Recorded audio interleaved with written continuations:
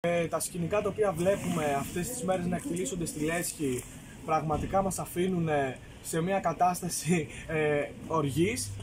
Ήταν ε, ένα ε, περιστατικά τα οποία όλο το προηγούμενο διάστημα έχουν συμβεί. Απλά βλέπουμε ακόμα και τώρα και σήμερα να επαναλαμβάνονται. Συγκεκριμένα βλέπουμε ποντίκια να κυκλοφορούν στη λέσχη, να διακινδυνεύεται, με αυτόν τον τρόπο η υγεία των φοιτητών καθώς τίθενται μεγάλα ερωτηματικά σχετικά με την ποιότητα του φαγητού που σητίζει τους φοιτητές, αλλά βλέπουμε και μια συνολικότερη κατάσταση να αποκλείονται φοιτητές από τη λέσχη του Απιθύτα, συνολικά εκτελήσεται μια προσπάθεια στα πλαίσια της εργολαβίας να μειωθεί τόσο η ποιότητα όσο και η ποσότητα του φαγητού προκειμένου να βγάλει κέρδος ο εργολάβος. Βλέπουμε να παίζονται παιχνίδια στις πλάτες των φοιτητών που οι ανάγκες τους κάθε μέρα όλο και υποβαθμίζονται στο πλαίσιο της κερδοφορίας των επιχειρήσεων, των επιχειρήσεων που μπαίνουν με τα μπούνια μέσα στο ΑΠΙΘΙΤΑ βρεθήκαμε εμείς οι φοιτητικοί σύλλογοι από την πρώτη μέρα, από την πρώτη στιγμή κιόλας, εκεί πέρα στη λέσχη του Απιθύτα.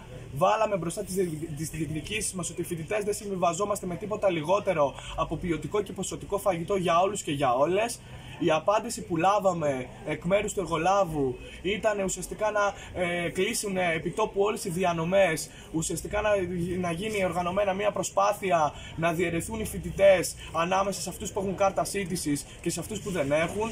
Εμείς τους ξεκαθαρίσαμε ότι στον 21ο αιώνα, στο 2022, δεν διαπραγματευόμαστε το δικαίωμά μας για ένα πιάτο φαΐ. Θα συνεχίσουμε τον αγώνα απέναντι στα σχέδιά τους που αποκλείουν τους φοιτητές από τη σύντηση. Βάζουμε μπροστά και μέσα από τη σημερινή κινητοποίηση της ανάγκης μας. Διεκδικούμε τώρα οι Βρυτανικέ αρχές να λάβουν τις ευθύνες τους. Όλοι οι φοιτητές να δικαιούνται ένα, ένα πιάτο φαΐ στη λέσχη. Στο πλαίσιο της περίοδου που διανύουμε μια περίοδο ακρίβειας, ανατιμήσεων, εκτόξευσης των τιμών και παλεύουμε παράλληλα να ξεκινήσουν οι έλεγχοι προκειμένου να ε, διαπιστωθεί η ποιότητα του φαγητού στη λέσχη.